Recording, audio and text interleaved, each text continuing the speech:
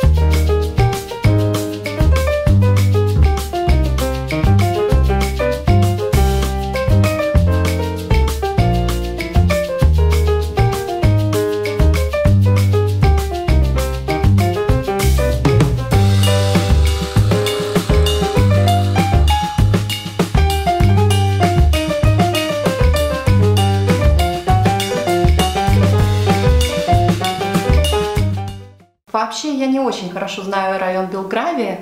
Я там была только три раза, как раз вот на фестивалях в 17, 18 и 19 годах. И просто ходила по карте, которую дают обычно э, на таких фестивалях, где указано, где какая скульптура находится и как ее найти, на каких улицах она расположена и в каком магазине.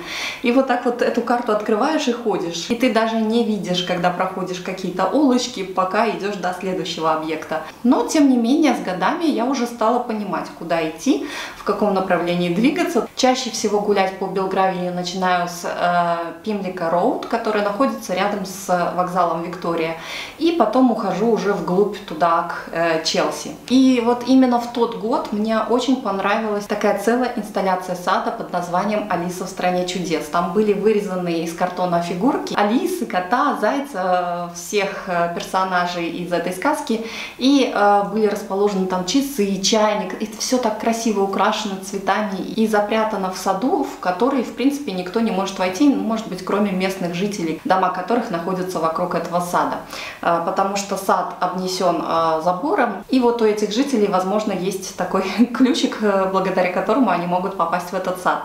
Такое часто встречается в Лондоне, это называется локальный сад, то есть сад только для жителей этого района. А кроме того, в этом же саду, но только с другой стороны, я увидела такую э, тоже инсталляцию э, из различных, по-моему, тоже Алиса в стране чудес персонажей и огромное количество различных овощей.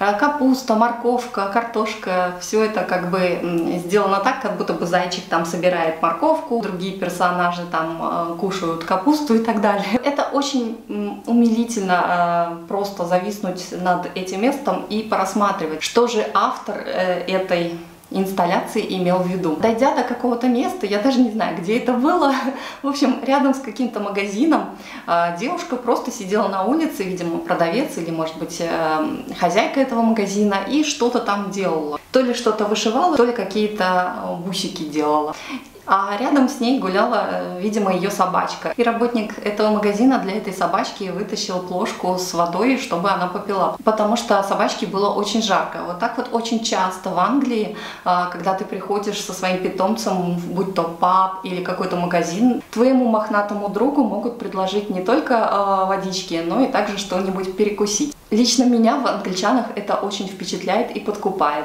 Также мне очень понравилось оформление одного из магазинов белоснежными вилами, лопатой и граблями. А также рядом со входом я нашла такого же цвета лейку.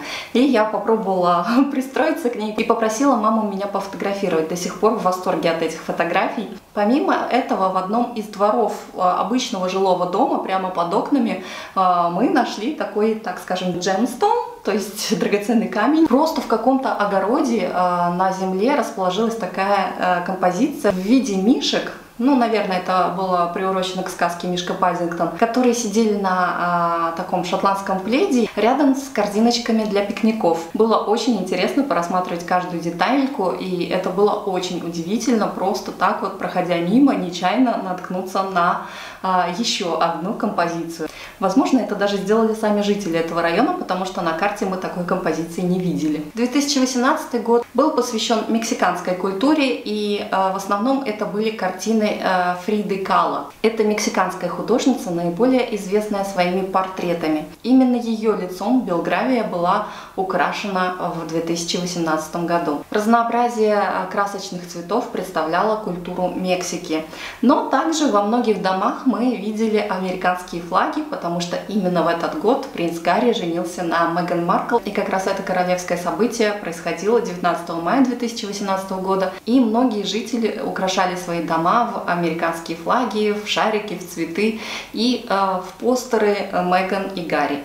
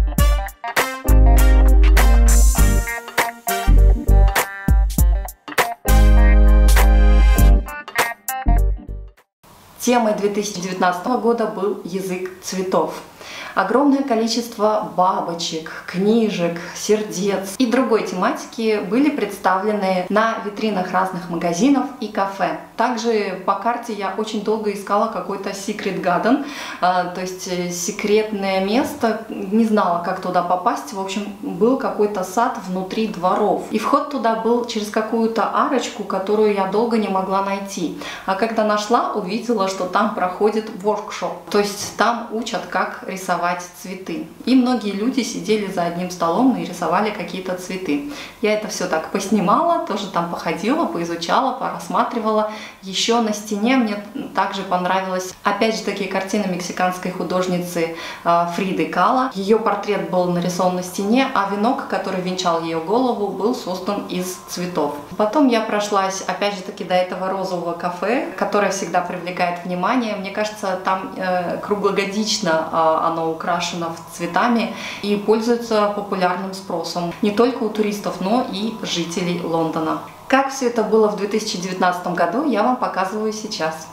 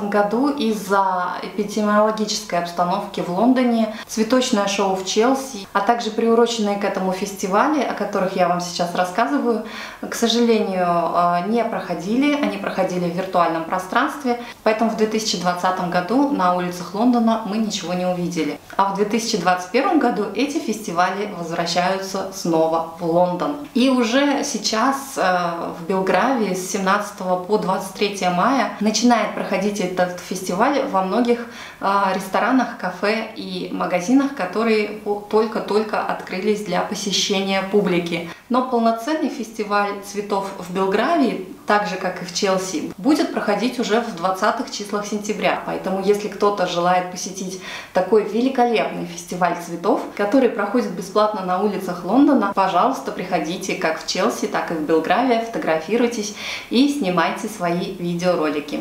А для тех, кто досмотрел этот ролик до конца, небольшой бонус.